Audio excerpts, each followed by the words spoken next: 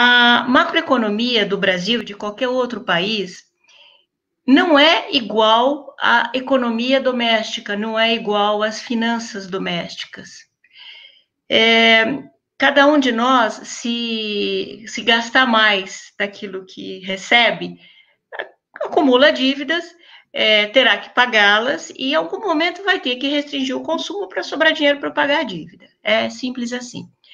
É, quando se trata do governo federal, isso não tem nada a ver, isso é uma bobagem.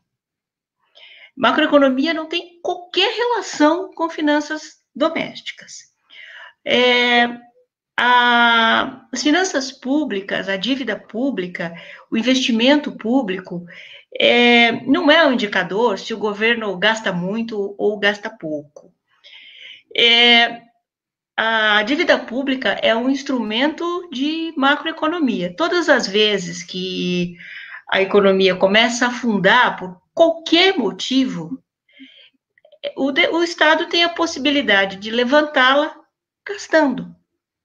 E a boa notícia é que, é, na imensa maioria das vezes, ou melhor, para as grandes economias, e o Brasil certamente está no grupo das grandes economias, é a oitava economia é, do mundo, é, esses países têm recursos, têm dinheiro.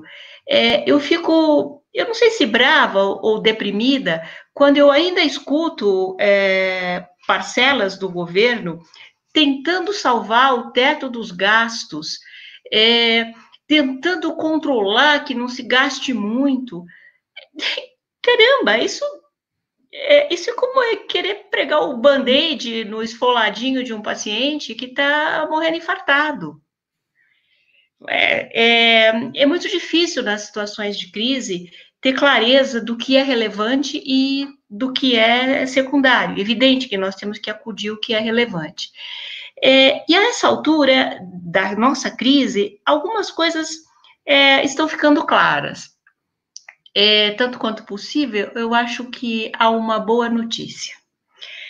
É, pois é, é, algumas coisas são muito claras, né? É, o que deve ser feito nesse momento, né?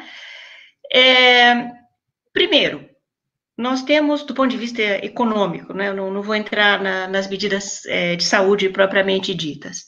Do ponto de vista econômico, é preciso garantir a renda da população mais vulnerável. Então, os 600 reais aprovados são corretos. É, provavelmente é pouco, e por que não aumentar? É, isso é algo, assim, em situações de crise é preciso monitorar dia a dia, semana a semana. Se isso se revelar insuficiente, bom, que se aumente, né?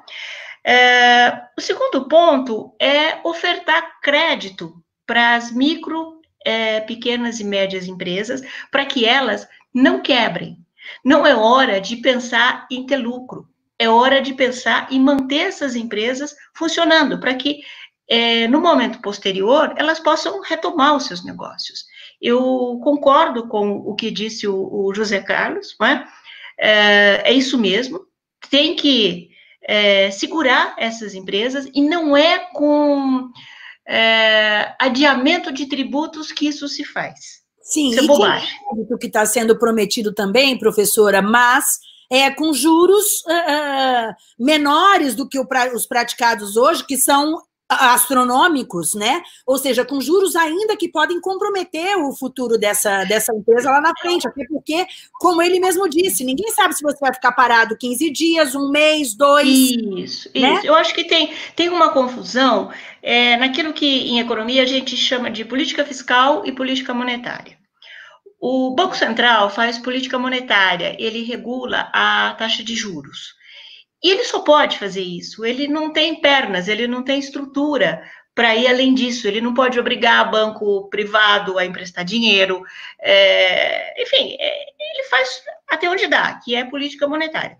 E, e, é correto que ele faça essa redução da taxa de juros, redução de Selic, porque isso reduz o custo da dívida pública e dá mais uma folga para o governo gastar é, na contenção do, do coronavírus. Tem né? Agora, poderia abaixar a Selic para zero. Existe isso? sim, claro, sim, não tem dúvida. Mas é evidente, vários países estão praticando isso. É? Então, né? você deixa o seu. falando que o governo poderia fazer nessa hora, não é para ficar fazendo conta, tem dinheiro para isso. Claro que há dinheiro.